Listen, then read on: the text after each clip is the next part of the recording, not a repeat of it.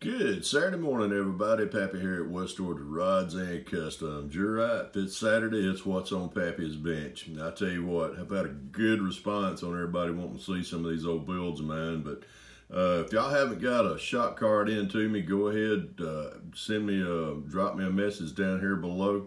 And uh, we'll get you put up here on what's on Pappy's bench uh, just as soon as I get one in. I'm trying to get all my shop cards, uh, trying to get some uh, new ones done. I haven't sent a shop card out in a while, and I really feel bad about it because uh, everybody's been doing this. I have done shop cards before, but it's just been uh, I just haven't haven't really taken the time to do any take any still photographs of any of my builds, so or my latest builds just other than, you know, when I post them on YouTube or Instagram or Facebook.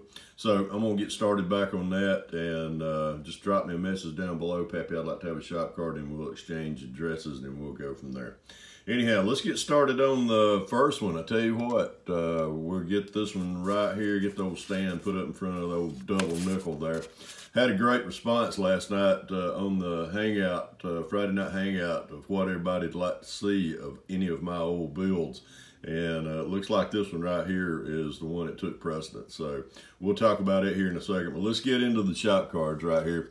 This uh, this fella right here, I tell you what, we've uh, we've turned into just in, instant friends just because of YouTube. And then we got to meet at Atlanta a couple times, and each time he comes down, we just uh, we just get closer and closer, and we're just I tell you, I look forward to seeing Brian and his wife Linda down here at the Acme Show every year. But uh, get subscribed to BG Model Workshop, awesome content creator. He's on YouTube. I'll drop a link down in the description below. That way y'all can get uh, subscribed to him and uh, start looking at some of them uh, at awesome work that he does. He also does uh, he and Lucas C does a show called the Model Car Guys, uh, which is just awesome. I really enjoy watching that. But uh, both of them are just awesome, uh, awesome friends, but they're great content uh, creators on YouTube. So get subscribed to Mr. Brian over there at BG Model Workshop and tell him Pappy sent you. Let's pull this out of the way let's get set, get this one set up here. Same thing about my old good buddy right here at Fubar Model Yard. Benny, man, I tell you what, Benny is another one of those. We've known each other for a while. We haven't actually got to meet face to face, and one of these days it's going to happen. But uh, Benny, uh, Benny and Brian both, uh, we all happened up on each other through YouTube, but we also, uh, Benny, uh, used to would get on the uh, uh, Friday night hangout with us. Uh, man, there was just all kind of uh, builders that uh, would come in, you know, sit in the chat, and eventually they'd come up on, you know, we'd we'd put them up on the on the screen live, and we'd sit and talk model cars, and just have we had a great we had a blast on that. That's why I'm wanting to revamp Friday Night Hangout uh, to kind of get that uh, camaraderie uh, going again. And we're getting into the winter months here, uh, or fixing to get into the winter months. Uh, we're looking fall down the neck here pretty soon, and we'll be all confined into the into the confines of the house. So uh, we're going to try to start getting that ramp back up again. But if you ain't subscribed to old Benny over there at Fubar Model Yard, get subscribed. It's this we were talking last night about uh, about this car uh, on the live, and uh, man, I tell you what, Benny is another one. Uh, Benny, free Kyle. any of you don't know what free Kyles means, get subscribed to Benny and he'll tell you what that is.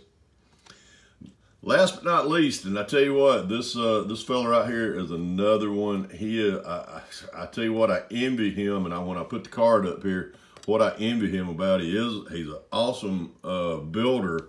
But this car right here is his uh, one to one scale uh, Camaro that he's got. And uh, Todd, man, that thing is awesome. But he's also awesome builder as well.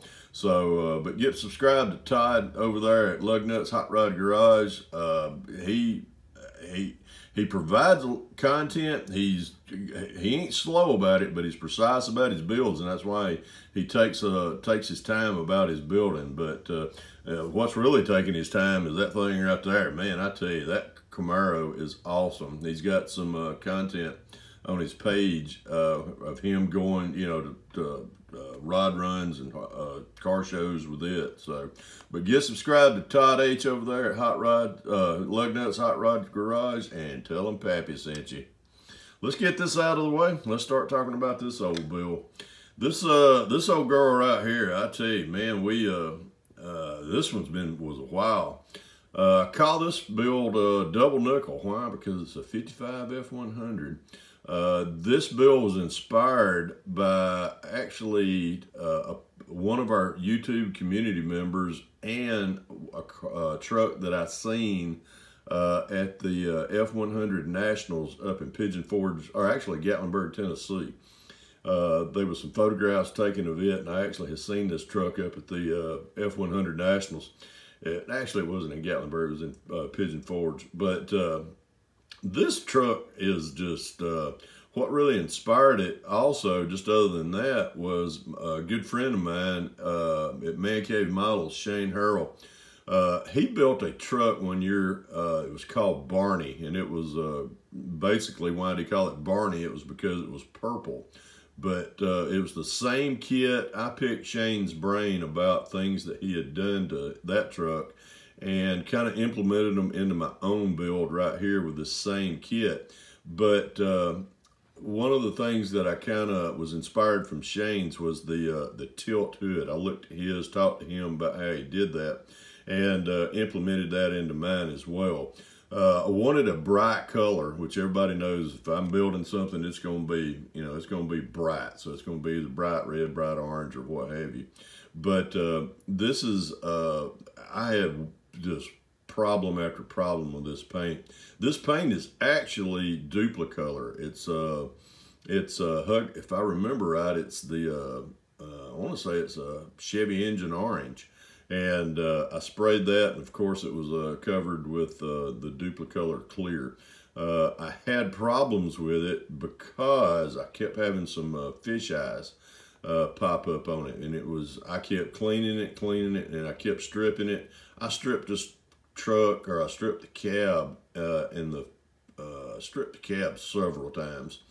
And uh, I think I had to after about the third strip, I was pretty much well aggravated, but it finally I finally got the paint to uh, uh, turn out the way I wanted it. But it was just a uh, it was patience prevailed, and uh, this is what I turned out with. Uh, this build I took up to the Whitewater Classic up at Cleveland, Tennessee this was uh, when they were ho uh, hosting their show up there. And uh, this took, uh, I believe, Best Ford uh, uh, truck at that show. So this was this one started out pretty in pretty good, pretty good, getting getting something right off of the bat. Uh, that's the everything is pretty much stock uh, as far as the engine. You can see down in there, I wired it, uh, plumbed it, and wired it. Uh, let's see, did a lot of detail work in there, and if you can see on the interior, uh, did the uh, kind of started the two-tone type seats that I like to do inside.